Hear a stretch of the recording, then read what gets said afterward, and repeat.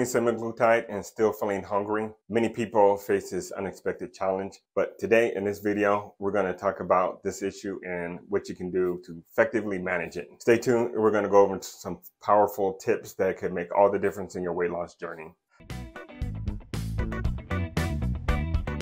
Hi, I'm Dr. Carter with Modern Body Clinic, and we are weight loss experts. In this video, we're going to give you seven tips on what to do if you're still feeling hungry when you started semaglutide. This, this video is particularly for semaglutide, but these tips I think you can use even if you're using a different medication or no medication at all. But semaglutide, what is it? This medication acts on a particular receptor called GLP-1. The effect of this medication is a few things. One is going to decrease your appetite by slowing down your GI tract, so both the intestines as well as your stomach. That effect is that you will feel fuller quicker and you will stay full for longer. It also is going to impact how your body responds to food in that when you eat, you will release more insulin. Your blood sugar will go up not as high and not as for long. So we get a better blood sugar control. It also is going to decrease your appetite in the brain because there are receptors there for GLP-1 What's going on with feeling hungry when we're starting a weight loss journey? Well, it's a couple things, but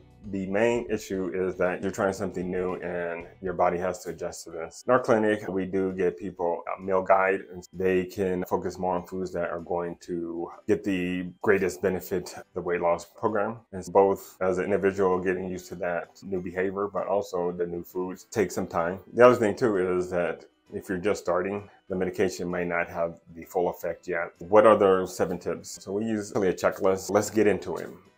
Now, the first thing is hydration. We really want to make sure that we are hydrated. And how do you know you're hydrated? Uh, one of those things is that your urine will be a lighter color. Now, if you're on B vitamins or some other medication that change your urine, that may not be true, but in general, lighter urine says that you are pretty hydrated. How much water should we drink? I recommend to our clients that they I drink at least half an ounce of water per pound of body weight. If you're someone that weighs 200 pounds, 100 ounces of water is not too much. And certainly here in the desert, that amount of water will make sure that you are hydrated. Tip number two is fiber. Now, with semaglutide, we do have to be uh, a little particular in what type of fiber we are going to be eating. That's because it's slowing down our GI tract. Insoluble fiber is going to work better than soluble fiber. It is true that soluble fiber is a little more filling, but insoluble fiber will help with feeling satiated. But more importantly, it is also going to be healthy for your gut. We definitely want to incorporate more insoluble fiber. This would be things like berries, strawberries, blueberries, blackberries. If we eat more soluble fiber, the concern is because semaglutide is slowing down your GI tract that we might have more issues with uh, constipation especially if we're not drinking enough water. I really highlight eating more insoluble fiber if you're on this medication.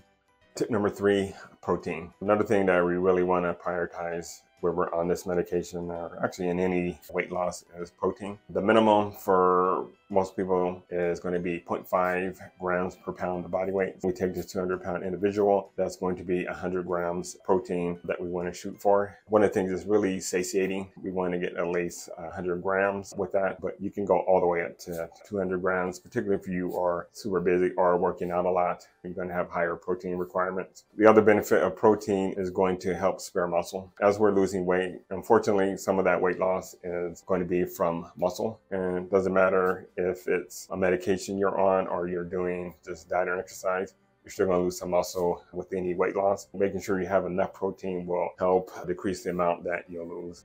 Tip number four is meal frequency. In regards to meal frequency, sometimes people respond with hunger when their blood sugar is low or high having more frequent meals but smaller will help stabilize out the blood sugar. If it works for your lifestyle, eating every two to three hours can help stabilize your blood sugar if you're having issues with feeling hungry. Also, to some people have hypoglycemia, meal increased meal frequency can be helpful. Tip number five is physical activity. Physical activity is important just in general health, but in regards to feeling hungry, what this is going to do is help normalize out a couple hormones. Actually, there's a bunch of hormones, but two that we're really looking at is ghrelin and leptin. Exercise or activity is going to help make sure these are not too high or too low. Tip six is sleep. Multiple studies have shown that sleep deprivation leads to weight gain. And one of those ways is it disrupts those two hormones I just mentioned, ghrelin and leptin. So ghrelin is a hormone that tells your body when to be hungry. So when you don't get enough sleep, that hormone goes up. And the other hormone, leptin, tells your body it's full. That actually will go down, which is total opposite of what we want. So making sure that you get enough sleep will help make sure that these two hormones are balanced.